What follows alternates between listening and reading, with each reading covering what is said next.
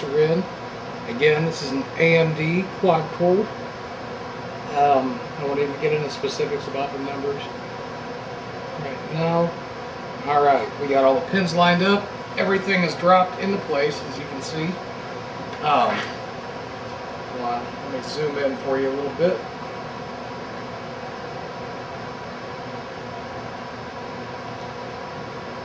might give you a better idea of what's going on. Um, we are going to be using the stock heatsink and fan on this. Um, we're not going to be overclocking. That's primarily the reason why. Um, in the future, who knows, he can have the ability to add one. We've already cleaned the thermal paste off of the original heatsink and processor. And we are going to put Arctic Silver on for our thermal paste. Um, a little bit goes a long ways uh, before I do this. I go ahead and get this locked down. Double check, make sure everything's good and in place. It is. Alright, when you lock these down, you're going to feel quite a bit of resistance, which is okay. That's normal. Um, always make sure anytime your fingers have been around the backside of the processor, make sure it's cleaned off nice and good with a chem pad. You don't want to get any oil in between there. Won't let it cool properly. And uh, like I said, a little bit of this paste goes a long way. You don't need to spread it. Um, get your, your blob on there. And whenever you uh, anchor down your heatsink and fan, it is going to spread that paste and push it out so it's on a good even cooling surface. Alright, let's get ready to set this in place. Um, another thing when you're putting these on, you might want to make sure that you got the uh, the fan in a good position to where you can get your uh, get your fan lead wires over to the uh, socket on the motherboard. Alright, go ahead and drop the heatsink on here.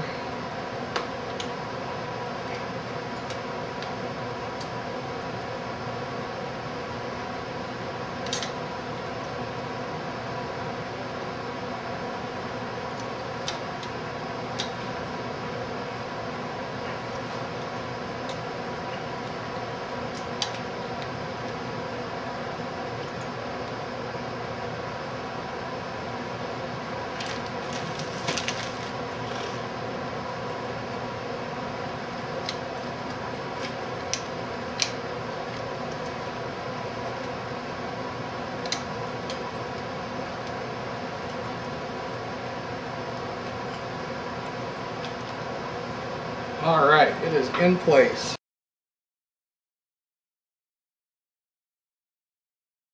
Now we're going to go ahead with the RAM module installation. Um, it's going to be the same as it is on Intel boards, AMD boards, whichever. Um, whenever you look at your uh, slots, uh, AMD is always going to uh, have the, the uh, slots staggered to where you'd see black, black, blue, blue, or whatever the colors may be, they're always going to be matched in pairs. Um, but this would be channel A1, this would be B1, A, A2, B2. So either which way on an Intel board you'd see black and blue, black and blue, but either which way it doesn't matter, it's still, uh, it is still the same way installed. You want to make sure that you put one in channel A1, one in channel A2.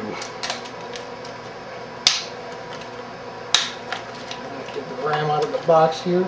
We went with uh, G.Skill Ripjaw for our RAM.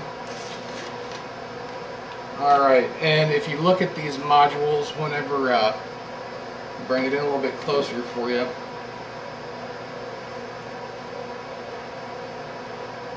Alright, when you're looking at these modules, there is a notch cut in the module. That's going to tell you exactly how this is going to be located in the slot and on this one it's going to be pretty easy to figure out. Um, the smaller end is going to go on the top. Whenever you place these in make sure that you got your little white tabs here and here pulled back. Actually I'll rotate the board around so you guys can see it. And whenever you put these in, you're going to want to bring them in as evenly as possible. And you will hear a positive click whenever they come in. Check, make sure it's in place, that is good. Alright, next module is going to be the same thing, except we're going to be going in slot A2. All lined up. Positive click means we're in good. Alright, well, we've got the RAM, processor, and heatsink installed on the motherboard.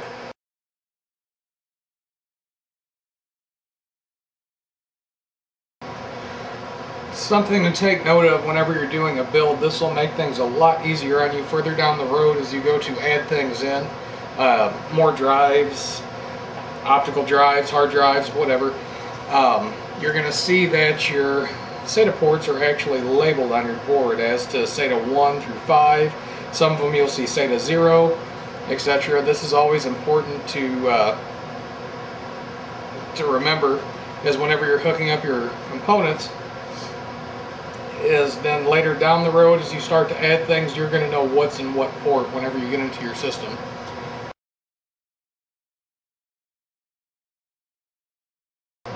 Everything we can do with the board up to this point is done. Um, we have our RAM modules installed. We have our processor installed. We have our heat sink and fan installed. And again, we're using the, uh, the OEM fan and heat sink. We're not going to go with anything big for right now because we're not doing any overclocking. That may be something for the future. Um, that being said, this board is loaded with options. Um, lots of SATA ports, lots of USB, uh, FireWire, 8-channel audio, you name it, board's got it. Um, I'm impressed for the price. Alright, all that being said, we're going to go ahead and cut off of here and uh, the next time we deal with the board it will be installing it into the case and installing the graphics card and internet card.